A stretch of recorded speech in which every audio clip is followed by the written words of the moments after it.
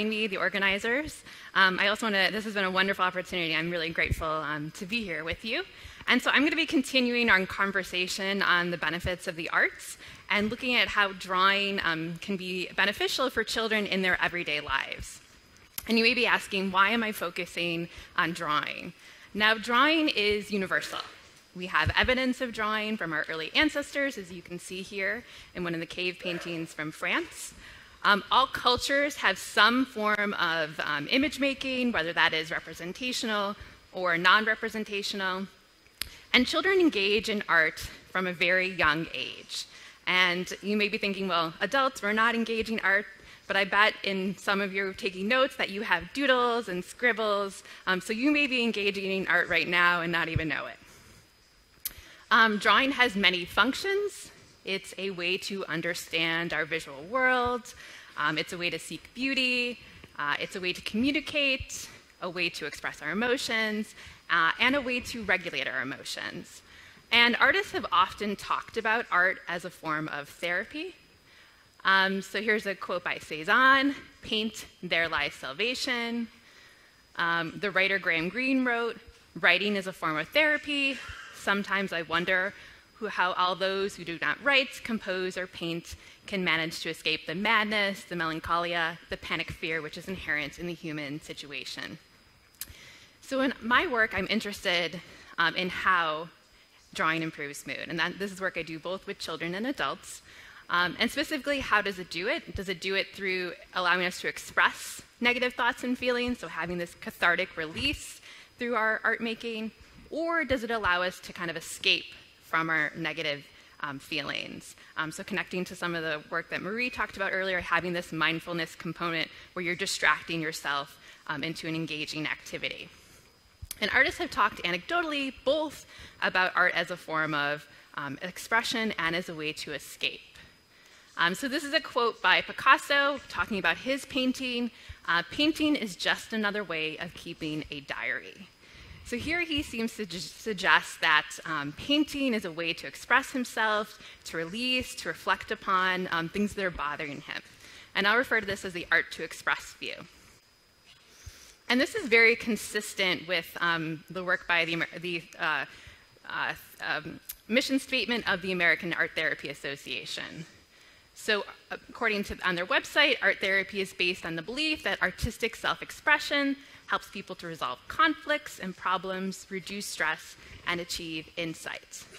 Um, and there are many studies of patients receiving art therapy showing that there are benefits um, and as was mentioned earlier, many times art therapy is coupled with other types of talk therapy. Um, so it's hard to disentangle whether it's the art making itself or having that therapy um, coupled together. Of course, art therapy is much more than creating art. It's also a dialogue between patient um, and therapist that occurs over many um, sessions typically. And so my work, I'm looking at Outside of this context, in a non clinical sample of children and adults, can we use drawing to improve mood just in a single session in children's everyday um, lives? Um, a very different perspective by some other artists. So, um, Renoir said, For me, painting is a way to forget life. Um, so, here, Renoir is using his art making as a way to distract himself to engage in activity that is pleasurable and that allows him to shift his attention away from maybe what is upsetting him or pain is painful. A similar statement was actually made by Van Gogh. It distracts me infinitely better than anything else. And this is very consistent with the um, benefits of distraction uh, in the emotion regulation literature. Um, but distraction is not only beneficial for artists. We do have some anecdotal evidence from uh, non artists using drawing as a form of distraction. So, this is a quote by Michelle Wie, um, one of the golf prodigies in the United States. So, when I'm drawing, the rest of the world disappears. I think it just makes me really happy. It takes my mind off things. When I'm stressed out, it's like a positive outlet I can go to to relieve stress. It puts me in a better mood. Um, and you can see, I mean, it's not that she, you know, a lot of this is, some of it's representational, her artwork, her some examples, some of it's abstract. Um, you don't necessarily need to be talented in drawing in order to be able to use it as a way to um, improve your mood. Now, shifting to children, Um, emotion regulation is a very important component of children's um, development. And um, as adults, we have strategies that we use and that we've learned to use um, that help us to regulate our emotions. Um, children are less um, able to kind of identify what strategies they need to use, and they definitely need some help in scaffolding and what strategies are, are best and what to use in particular situations. And what's been shown when um, the study here looked at the Skinner and Zimmer Gembeck, um, looked at what strategies are children using. And they find overwhelmingly children are using distraction um, as a form of emotion regulation. Um, the most common being behavioral distraction, so engaging in activities um, that are fun, um, or cognitive distraction. And that, that's thinking about something that's fun or enjoyable. Um, so given that children really use distraction, it seems that drawing would be, um, it's something that children engage in from a very young age. It seems like it would be an activity that would be helpful and that would improve their mood. So there are many emotion regulation strategies. I have selected two that I think particularly um, relevant to drawing and that have been cited um, anecdotally by um, professional artists. So the first is distraction. Um, and so that is turning away or shifting away from our negative thoughts and feelings, engaging in activity, and then venting, which is using the art to express our negative thoughts and feelings. And throughout the talk, I'll be referring venting as expressing, not venting, just to be clear. So I'm going to ask um, three questions that I have some studies to show you that will answer these questions. The first is Does drawing improve mood in children? Um, the second sort of answers the first, but how does drawing improve mood in children? So I'm going to look at under what kind of circumstances or what types of drawings um, seem more helpful to children than others. And then finally, um, what do children draw spontaneously they, when they're upset? Um, so the first two um, questions I've you know, given children instructions on what to draw. And the third one I wanted to look at, well, what do children actually draw spontaneously? What kind of images are they creating? So I just want to go over just quickly the experimental design of my studies. It's the same for all of the um, experiments I'll be showing you. So we have some type of sad mood induction. So I am making children think of something that's upsetting or disappointing. Um, this is an example of what we um, ask children to do. Um, I think of a time when you wanted something really good to happen to you and you didn't, and you felt really upset and disappointed. I want you to close your eyes and think about how you're feeling when it didn't happen. And so we have children um, cover their eyes and think about this for a minute, and then we have them report how they're feeling. So after the mood induction, in this first study, we randomly assigned them to use drawing as a form of distraction or as a way to express themselves. And I'll show you a couple examples in a moment of what that looks like.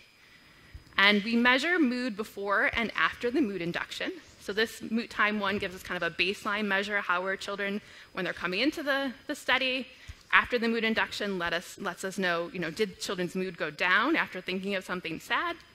And then we finally ask them about their mood at the very end of the study. And that allows us to determine whether there are differences between the two conditions. Um, this is our mood rating. So it's uh, just a, a, basically a pain scale that has been adapted to um, be mood rating. So children are presented with these five faces and asked to rate how they're feeling from very happy to very sad. And I'm working with children um, between the ages of 6 and 12. So we have them broken up into younger children, 6 to 8, and older children, 10 to 12. And these are selected for particular reason. So I'm testing two um, competing hypotheses. The first is that it's possible that the younger children are more absorbed in the act of drawing. So what's been shown is that young children um, are very engaged when they're given the opportunity to draw. They're not as critical in evaluating their drawings as older children are. So it's possible that these children um, would have the greatest mood benefit. On the other hand, um, older children, those 10 to 12 year olds, um, they play an active, more active role in regulating their emotions. So it's possible they rely less on parental support than the younger children, and it's possible that having this opportunity to engage in drawing um, may be more beneficial for them. Okay, so does drawing improve mood in children? So these were studies that I conducted in Boston in two children's museum. Um, with the milk can is the Boston Children's Museum, and then this one over here is the Museum of Science. And in terms of our activity, so in the express condition, um, we asked children to draw the event that they thought of. Now, in the adult studies, we asked adults to think of a very sad experience, and we asked them to express their thoughts and feelings. That seemed difficult for a six year old to kind of figure out how to do, so we had them focus on the event that they thought of. And then in the distract condition, we had them draw a house, which was intended to be a neutral object. And so I'm going to give you some examples of drawing. So this is one in the drawing to express condition.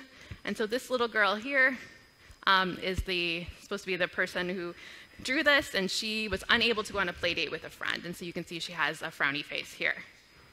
And then this is an example of the distract condition. So children are given paper and markers, and they're actually only given, we give them five minutes um, to draw. Um, and so this is an example in, of the, our house.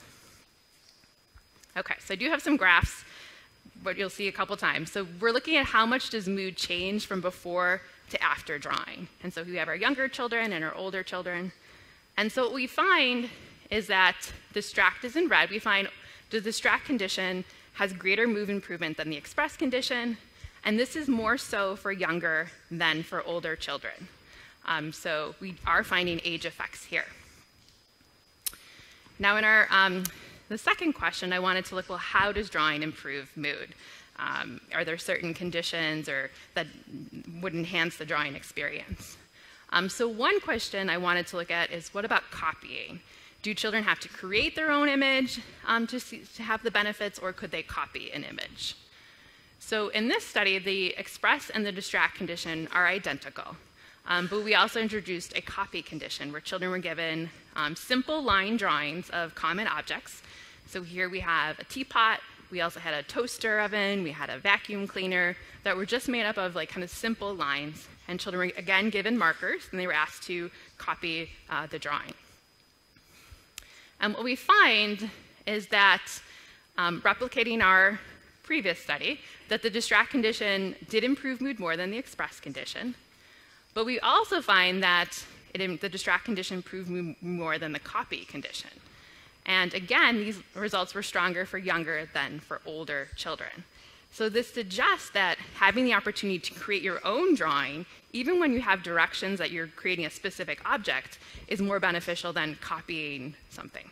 So having some of that freedom, and even though we told you to draw a house, children have freedom of what that house looked like, how many windows, what color. Um, we also wanted to look at does drawing improve mood because it leads to higher rates of absorption, so children are more absorbed in the act of drawing.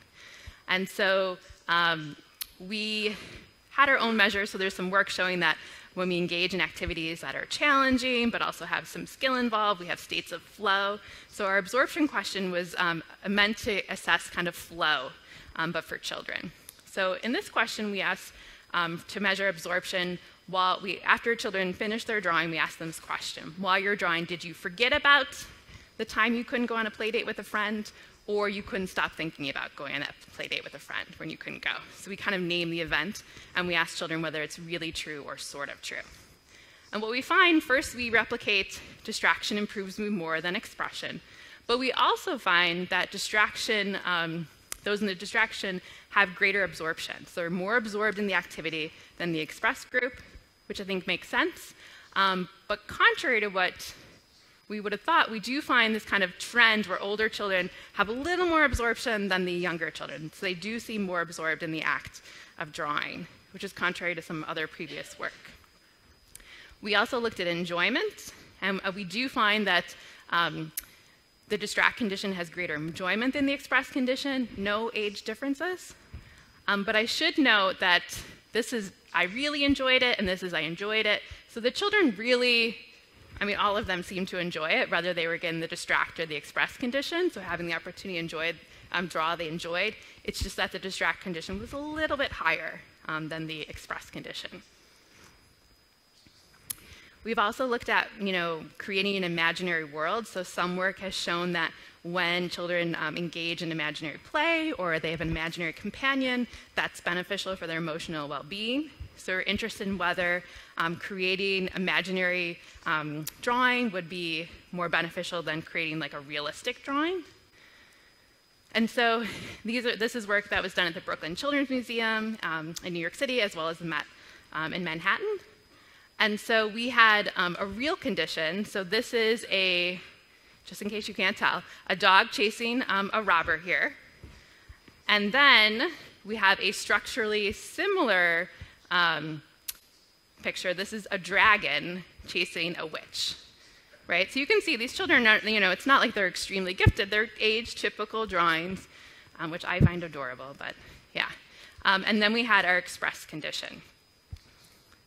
And so what we find is that it doesn't matter whether um, the content is real or imaginary. It's that it's distracting that seems to be um, making the difference. And in both cases, the real and imagine had greater mood improvement than the express condition. Um, and again, we're finding more benefits for younger than for older uh, children. Okay, so finally, we wanted to look at what do children draw spontaneously if we give them no um, kind of prompt of what to draw. So this study followed a very similar design.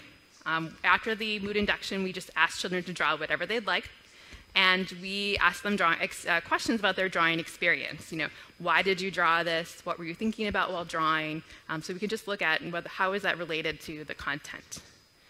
Um, and what we find is children um, draw things that they enjoy doing. So this is a child. Um, when we asked what he drew, he said, "I really like," um, and why he drew it, he said, "I really like roller coasters." Um, we also find that drawing seems to be re- related to self efficacy. So children are drawing things that they are good at. So this child reported, I like, you know, I'm good at drawing flowers and trees. And then still some other children draw things that are important to them. So this child drew, um, it says a happy day, and it's mom, dad, sister, their two sisters, and their mom and dad. So they drew their family. Um, and what we find, so this is a little bit different, but what, so time one is before engaging in this study, what we find is that mood does go down with the mood induction, um, but that there is, you know, when even they're drawing things spontaneously, their mood does improve. Um, and we find, again, find it stronger for younger, the younger children in purple. So we find they have greater mood improvement than the older children. Um, we looked at what strategy children were using. So we coded, you know, what were children thinking about in their mood induction and what did they draw and how were they related. And overwhelmingly, we find that children use drawing as a form of distraction, which I think makes sense given some of the work that's looked at children's emotion regulation abilities. Very few use it as a form of expression. Um, we looked at the content of children's drawing, so coding, you know, what they reported that they drew, and we find there is a difference by age group. So younger children tend to draw things that they enjoy, um, activities they enjoy, and older children um, tend to draw things that they observe in their world.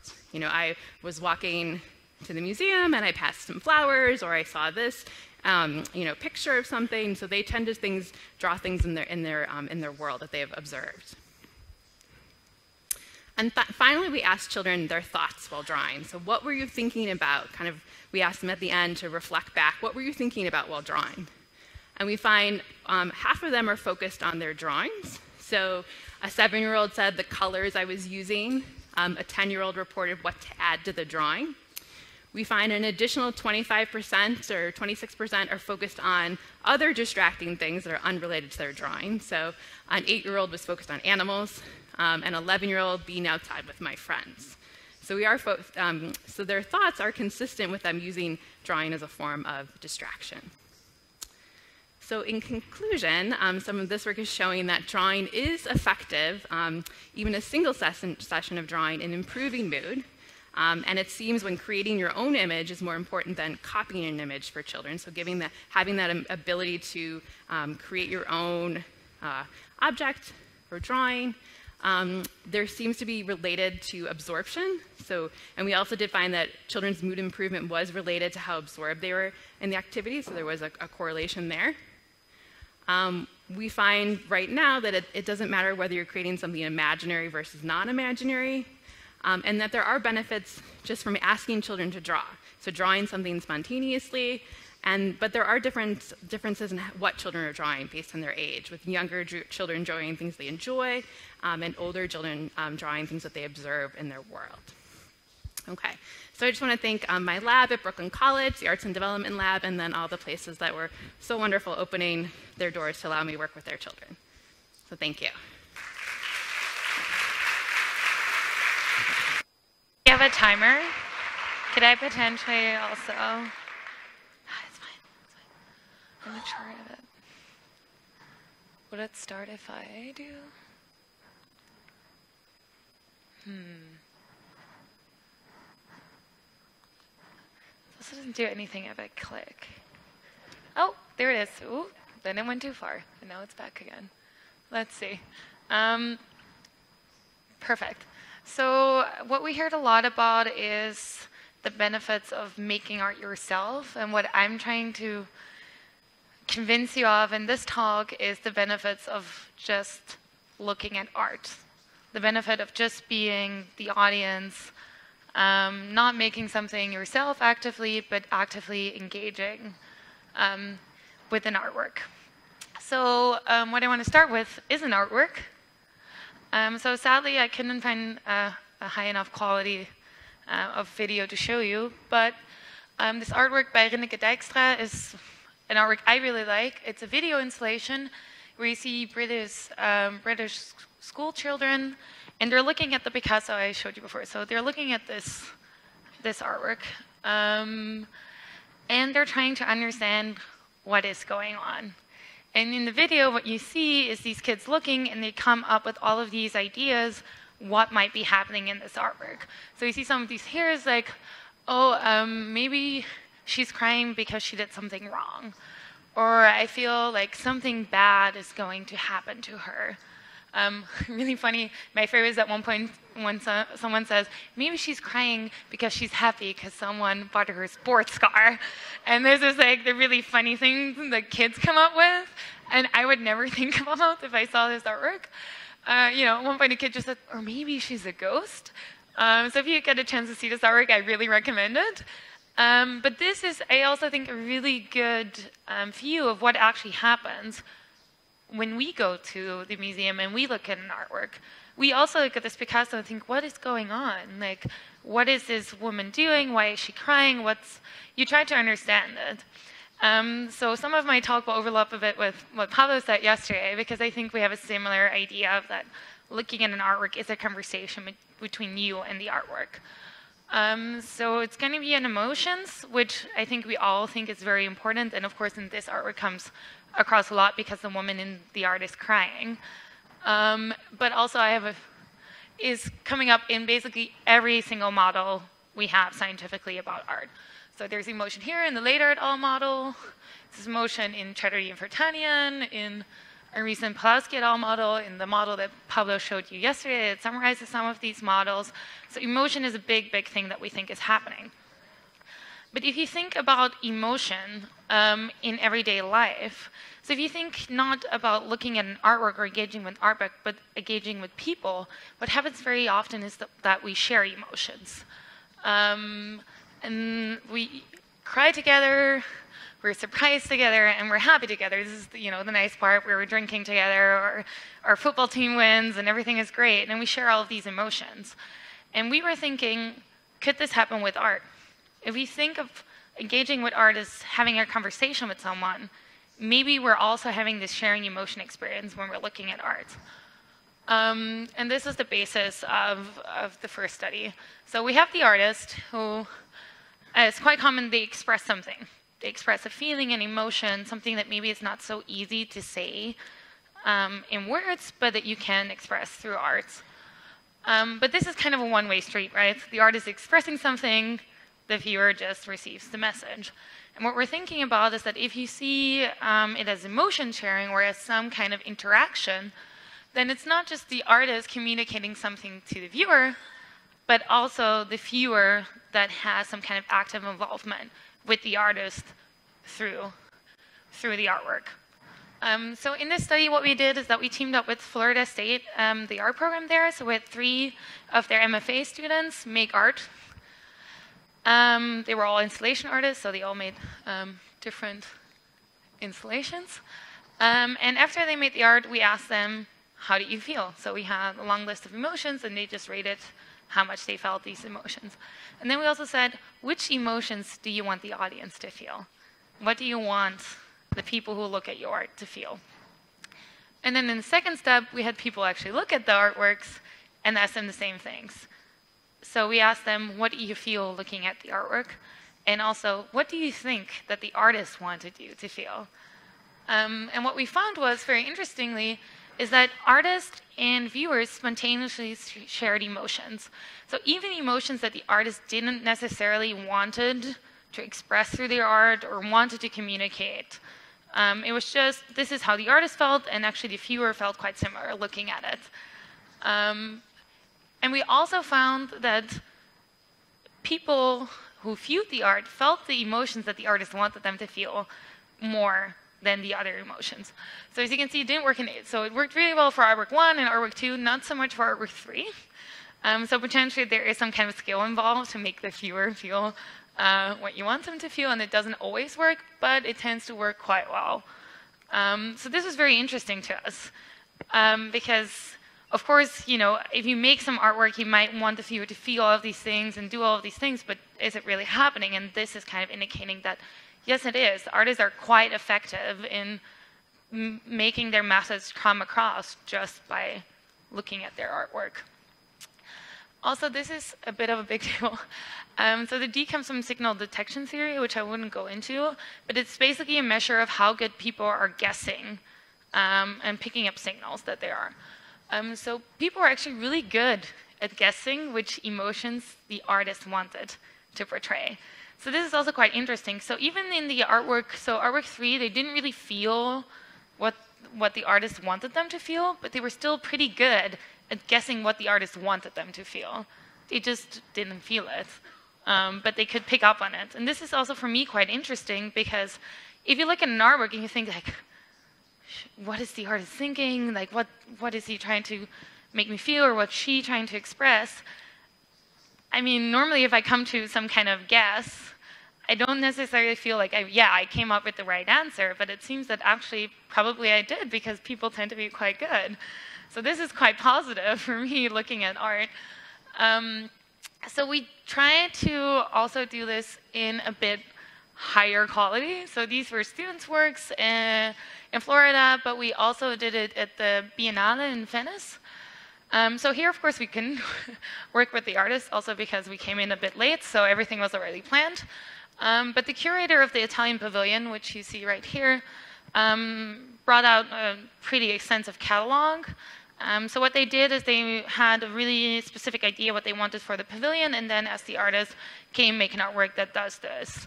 Um, and the artist tried uh, to do that. So we basically went from the catalog to guess what the intention of the, the artist was for each artwork. So it looked like this if you see it schematically. So you would enter here, and that's artwork one, which looked like this. Um, so it was pretty creepy. Uh, also, it was really dark in the pavilion. Um, so basically, actually, these bodies were produced here. Then they were dried here in like weird bubbles, and then they were hung up uh, here on the wall, which you can can see in the image. Um, then the second room, which you can see here, there was light on the on the floor, and then there was a seating area because there was a big screen, so it was a video installation, and it looked um, like this. It was a tarot game, or it was young kids playing tarot cards and coming up with interpretations, and that's what you saw. And then after you saw that, you could go here, um, underneath a big installation, as you can see here, you go up a few steps, and then you're confronted with this. It's not a really good image, it was really hard to make a good image, um, because it was really dark. So what it was, it was a huge water basin, and it reflected the structure of the ceiling. So here it's already quite hard to see, so I think the horizon is somewhere here. I'm not even quite sure in this picture, um, because it mirror reflected. So um, it was quite intense. So what we got from the thing is that um, the creepy bodies were supposed to have fear, which, you know, was obvious because it was creepy. Uh, mysticism, but also reference. Um, in the video where the kids reflected on themselves, you were supposed to be empowered or self-aware, unease, and in the, the last one, calm, potentially melancholy, and also vertical because it was such a kind of weird experience. You didn't really know what the space was doing, what up or down was. Um, so this was what we got from the from the catalog that people so we were supposed to be feeling, and we actually found very similar results. So again, we found that people felt the emotions that the artist intended more than the emotions they didn't. Interestingly, we again found that it worked really well for artwork one, not so well for artwork two, and really well again for artwork three. So even on a more professional level, it seems to be not that easy to make um, people um, feel something. Um, and again, people are really good at at guessing what what the artist wanted to say. So from this, we can know that engaging with art is an emotional experience. And it's quite a complex emotional experience. We can engage with art as if we are engaging with another human, even though there's no human there in a way. There's just traces of what someone else created.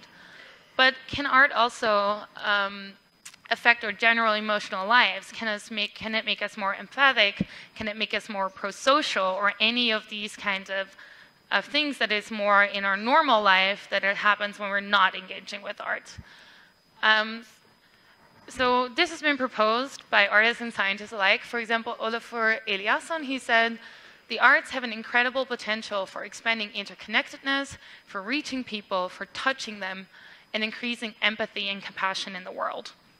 So a really interesting study that just came out this year um, by Xu, Konrath, and Goldstein um, took a representative sample of Americans. So they had four big surveys, um, national surveys that were done um, over a time span with different representative samples of Americans that included some questions about arts activities and also pro-sociality. And they tried to also look at this question, can it make us more pro-social. And what they found is, yes, viewing art can make you more pro-social, um, which you can see in red here. Um, also, what for me was very interesting, that it was even more so than making art. So the line above that is arts creation, and they also did a different score below. So actually what they found is that just looking at art, just being the audience, actually made people more pro-social than making the art. Um, and very interesting, they found the same pattern even six years later. So it's not just engaging with art at time point one, it's one very short-term effect that makes you more pro-social for a little while, but it also predicts how pro-social you are six years later. And again, here, as you can see in red, it is mainly the being the audience, just consuming the art that created this pro-sociality uh, effect rather than um, making art or playing an instrument. There was also some little effect of, of making art. Um, actually, there were some negative effects of making art. Um, but in general, it was especially the consuming that made people more post-social. Um, so we wanted to also delve into this topic in a very recent study we did just this summer uh, in the Dom Museum in, in Vienna. So the Dom Museum is a very interesting museum because um, it's right next to Stephansdom, our big cathedral in the middle of the city, and it houses their collection. So it has a lot of these very typical um, Christian artworks. But very interestingly, it also has the Otto Mauer um, collection. And Otto Mauer is a really interesting person because he was, on one hand, um, the priest of the cathedral, and on the other hand, he started the biggest or the most influential contemporary art gallery in Vienna in the 50s. Um, so they have this really interesting mix with having this really classical collection and then having this really contemporary um, collection. And they just renovated. And in their new exhibition scheme, they always try to kind of combine these two collections with overarching themes. Um, so in the exhibition that we worked with, it was called Zeig mir deine Wunde, or um, Show me your wound. As you can see here, it can be very literally like a wound in the foot. Um, but it could also be wounds of the soul. So there's this video by Erkan Özkan, Wonderland, um, where this little boy, basically just by use of his body and use of science, um, talks about or talks about his experience in war. Um, so it was quite a heavy exhibition. So it was all about vulnerability, where are you wounded, what hurts you, either physically or metaphorically. And then it used, so this is mainly contemporary art, but there were also artworks like this in. So the very classical kind of Christian uh, art um, with this martyrdom. So what we did here is Again, the same paradigm as before, but here we worked with the curators. So not so much with the artist, but what, what did the curator want the, the people to feel? Um, because an artwork can mean one thing in one exhibition, but potentially have a different interpretation in another exhibition. Um, because as we know, artworks tend to be quite complex, and if a curator makes an exhibition, they're thinking about an overarching theme, what brings all of these artworks together, what do I want to say with this combination of artworks. So we also were very interested in seeing like maybe does this combination also work, right? It's not just what did the artist wanted to say and this one piece on its own, but could it also work as this kind of overarching story? And can a curator, just by putting some pieces together, also influence uh, what people feel when they look at art?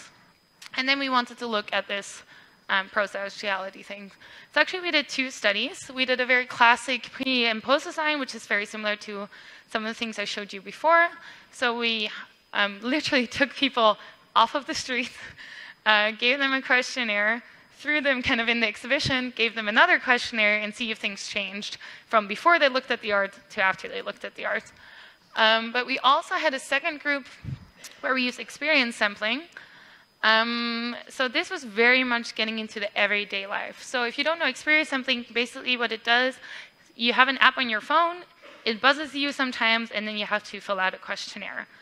In our case, we had people fill out a questionnaire one time a day, and they reported just in their daily lives, how do you feel today, um, some pro-social actions they may have done that day, did you help someone today, these kind of questions.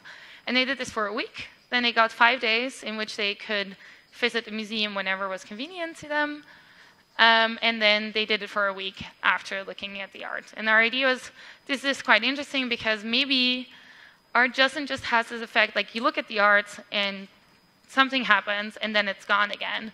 But maybe there is something that you look at the art and maybe it helps you through your normal life when you're not looking at the art after. I have to say we just collected this data in July. Um, so sadly, um, I cannot tell you the results of the experience sampling because we haven't analyzed it yet. So Catherine, who's here, um, is responsible for that, but we didn't get to it. Um, this I analyzed very quickly last week, so I have some results uh, on that, but they're very preliminary um, results because I couldn't analyze everything that we did. So what we found is again that people felt emotions that the curator attended more than things they didn't attend. So it seems to not be working just on the level of the artist, but also the curator can make people feel things.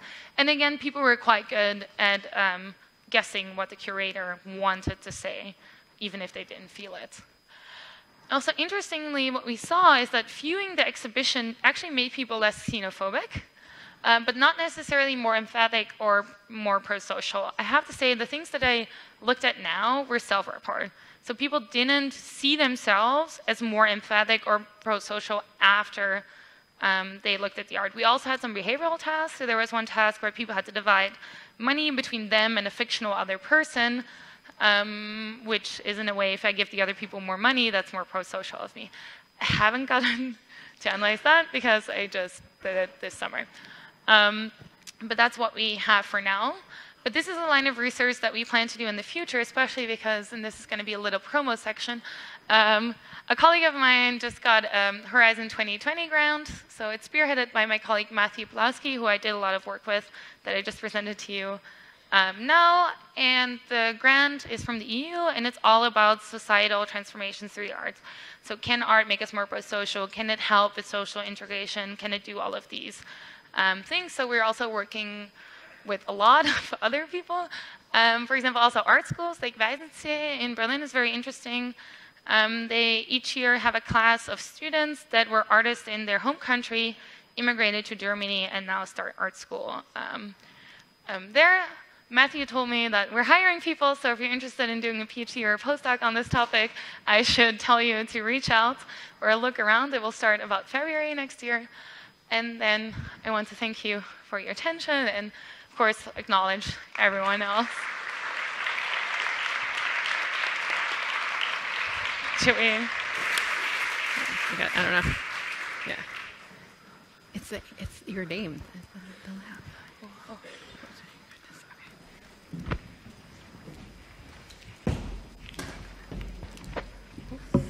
Bueno, pues vamos a ver.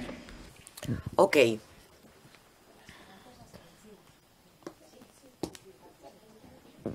if distraction improves the mood of a child more than expression, would it be as useful to use other techniques to, for example, sports, music, games? Would it have the same impact? Is distra- I just want to make sure I get the question. So, in distraction with other activities. Uh, so, I haven't looked at that with children. I have looked at it with adults, um, looking at other, in, in, for example, games and other activities, um, writing as well. And I found that drawing is actually more beneficial um, when used as a form of distraction than other non drawing distraction tasks. Um, but I don't necessarily know whether that's true for children. Um, but I think it's important that they do something that they enjoy, um, mm. and that so that could be, um, you know, playing games or, or, or, sports that could also be beneficial. Thank you. Vamos allá. Um... The next one. Yeah, first question. Even though to get to know the artist emotion when making the work of art, it closes you to the work. There are some artists that do not want to add this information about their artworks so that the audience may activate their own emotions. What do you think? Yeah, exactly. So um, this is something that, of course, not always the artist wants to necessarily make people feel things, there's also especially conceptual art that is way more on a, on a thinking level.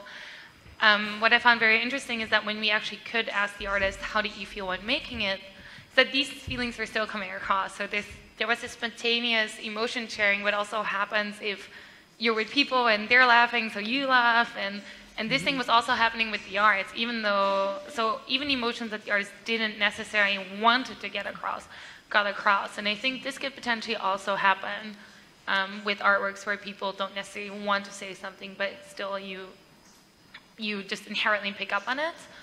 Um, but there could also be artworks that just don't feel anything. So quite funny, in, in, in the two studies we did, we had three artworks, and it was basically working in two of the cases, and mm. in one of the cases it was not.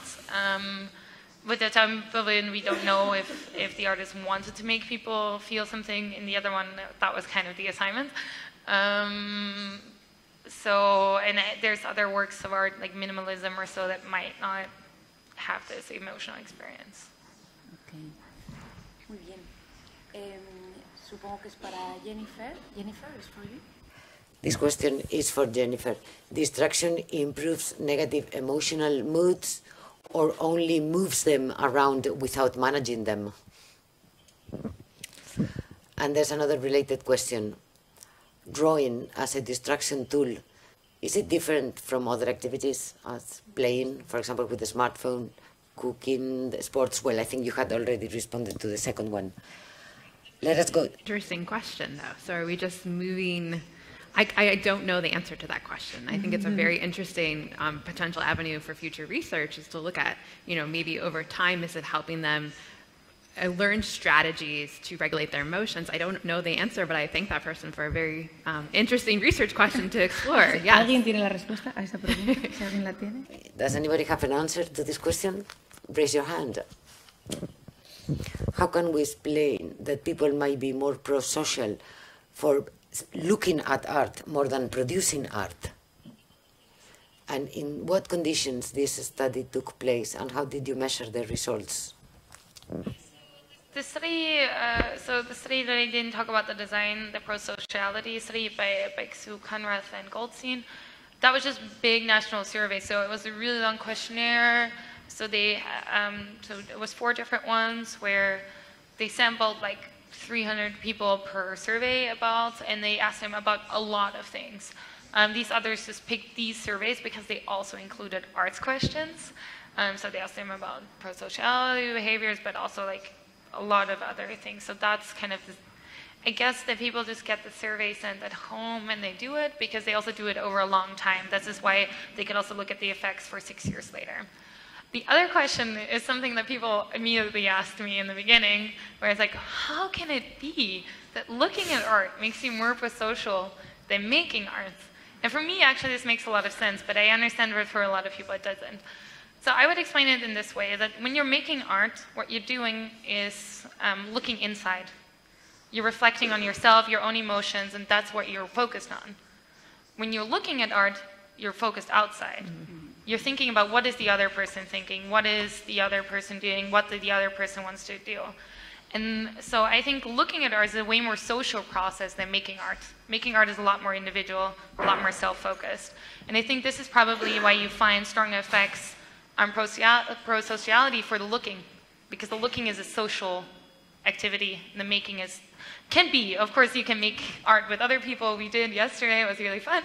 Um, so it can be a social activity, but it doesn't have to be. Well, the looking is inherently a, a social component, and mm-hmm. this is why I think that's the one that's helping. Mm-hmm. Thank you. Jennifer.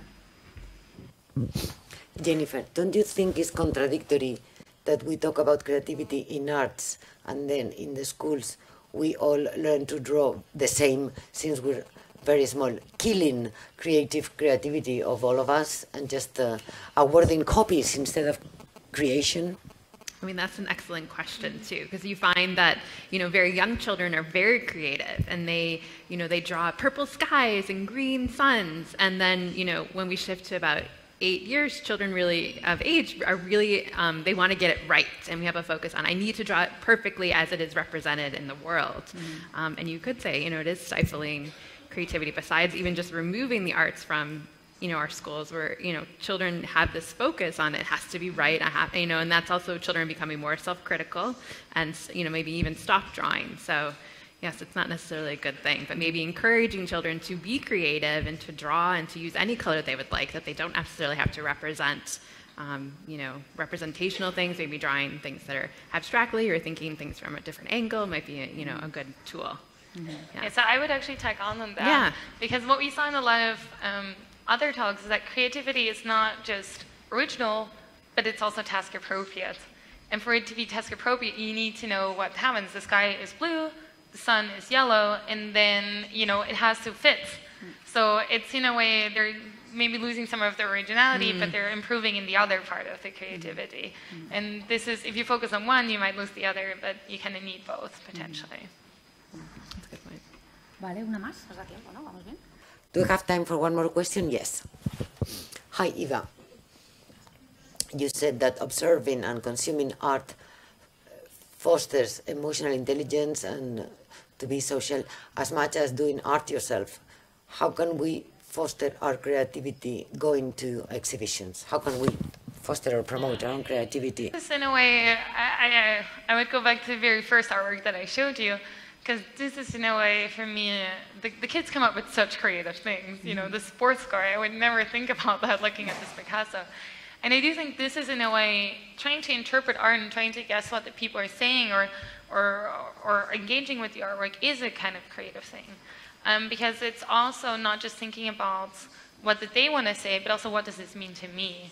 And what does it remind me of? And i you know this woman is crying i cried before. And so I think it could be a quite creative thing. And then, especially nowadays, when you, I mean, it's not that recent, um, but with participatory artworks or other things where you really have to engage in things, um, going to the museum can actually be a super creative experience because. I mean, I don't play any musical instrument, and yesterday we had to record a song. I cannot even read notes, but it was really fun to be, you know, that just to do something random, something creative, I mean, it didn't sound good, but it was still nice.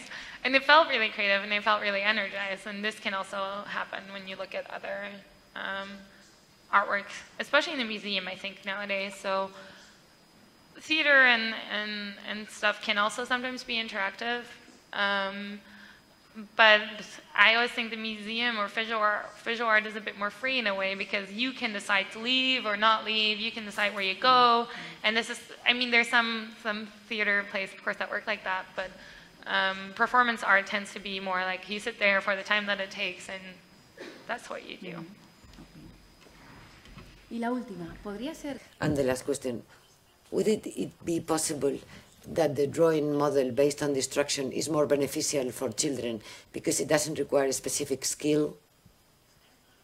Is this related to having skills or not for drawing? Or? Related to having skills. So I've done, um, most of my work has actually been with adults. Um, and, um, and I have found that it, it is overwhelmingly beneficial for adults um, using it as a form of distraction um, for a single session and actually over time. So I've shown over several days and a month um, that using drawing as a kind of way to feel better about your everyday life is, um, is beneficial. Yeah, so you don't, don't, you don't need to be talented. You all can draw and doodle and, and feel better. Muy bien, si alguien más quiere hacer alguna pregunta. If you have any uh, other question, we have a couple of minutes. If it's not in the application, okay, thank you very much for your attention.